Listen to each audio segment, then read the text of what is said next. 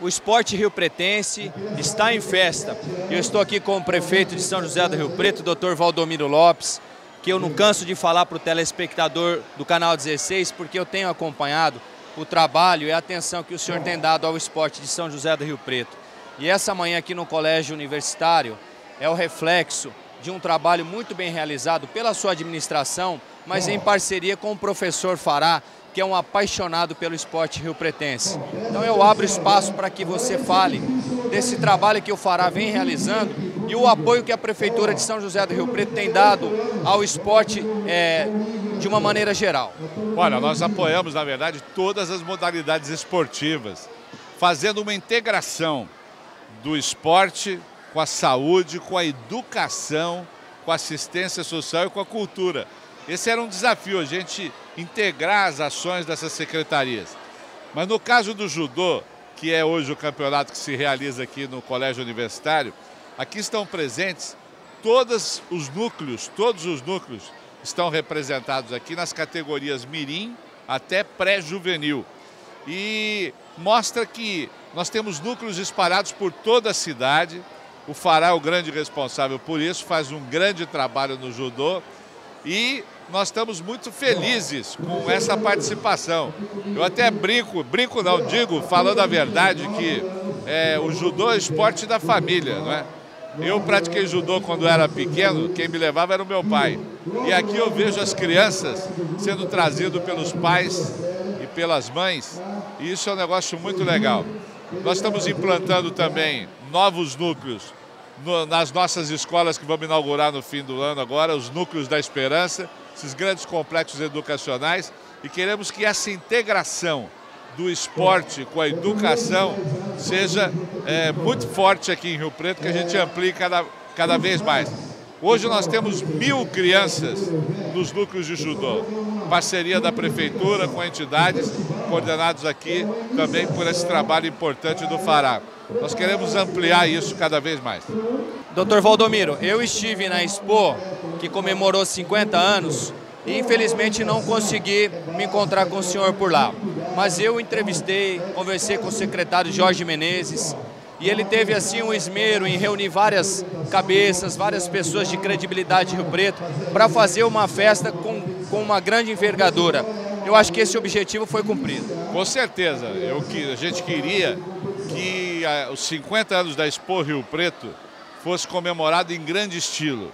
E pela primeira vez na história da cidade, nós tivemos três dias de grandes shows com grandes nomes da música, com portão aberto, de graça, para que as pessoas pudessem é, ver os shows.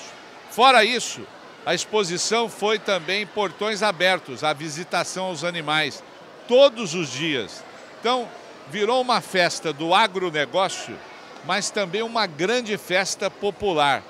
Com isso, nós pudemos comemorar os 50 anos da Expo Rio Preto de uma forma muito especial.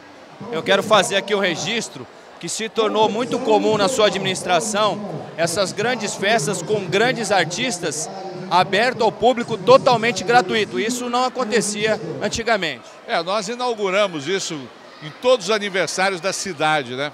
A gente comemora o aniversário de Rio Preto desde o primeiro ano do nosso governo, fazendo festas, trazendo artistas. Já trouxemos é, Daniel, Eduardo Costa, trouxemos Daniela Mercury no, no, aniversário da cidade. E queremos continuar fazendo isso. E com a Expo Rio, sempre portão aberto, de graça, para as pessoas poderem comemorar e festejar o aniversário da nossa Rio Preto. E queremos continuar fazendo isso. Agora começamos com a exposição, que é uma coisa inédita, né? Na exposição foram 10 é, dias de show e desses 10 shows, é, três portões abertos e também a visitação todos os dias portões abertos. E agora estou aqui com o professor e diretor Flávio Teixeira, que é o grande comandante do Colégio Universitário. Eu particularmente estou muito feliz é, como cidadão de São José do Rio Preto por estar aqui nessa manhã acompanhar um campeonato com esse carinho, é, com esse respeito, é, principalmente às crianças e aos pais que vieram prestigiar.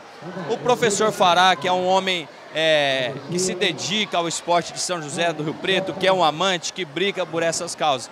Agora, eu te pergunto, Flávio, o que isso representa para o colégio universitário? Bom, para o colégio representa muito, porque nós temos um núcleo do Fará aqui dentro da escola. Então eles são incentivados a participar. E o bom do judô e do projeto do Fará é a disciplina e o respeito que existe entre eles. O importante é participar, não é ganhar. E o projeto do Fará, hoje aqui nós temos 400 crianças. E o projeto dele é pra, é, são mil crianças. É um projeto maravilhoso que tem começo, meio e fim. Então eu apoio de, de portas abertas, tanto eu pessoalmente como a minha escola, a esse projeto. E todo projeto que visar isso, o nosso colégio está de portas abertas. Eu estou nessa manhã aqui no Colégio Universitário, ao meu lado o professor Fará, que é um apaixonado pelo esporte de São José do Rio Preto. E quando se fala de judô, o Fará sempre está à frente desse trabalho, a gente sabe do envolvimento de mais de mil crianças de todas as áreas de São José do Rio Preto. E essa manhã aqui no Colégio Universitário foi uma manhã, na minha opinião, na minha concepção, memorável. Até o próprio prefeito teve presente para testar esse trabalho que você faz, dar esse feedback. E a maior resposta, Fará, do trabalho que você está fazendo, a resposta a todas as críticas que às vezes a imprensa é, impõe a uma pessoa pública como você, está aqui. Muitas crianças, muitas famílias, muitas pessoas prestigiando esse trabalho com excelente qualidade. Olha, Fernando, é mais um evento que a gente faz para a molecada. E esse evento, nós fizemos eventos aqui em Rio Preto, a nível paulista, trouxemos o Campeonato Paulista para cá. Mas hoje nós estamos entre os nossos núcleos. Tem 400 crianças aqui da categoria pré-mirim, o fraldinha e até a categoria pré-juvenil só. Fora essas crianças, nós temos mais mil crianças que competem, que são os grandes atletas de Rio Preto. E uma manhã muito feliz para a gente, porque nós estamos iniciando o trabalho com essa criançada. Aqui está o Bentinho, que é um dos atletas nossos aqui, adolescente, que sem dúvida vai chegar no futuro. Então, eu vim para fazer esporte em São José do Rio Preto.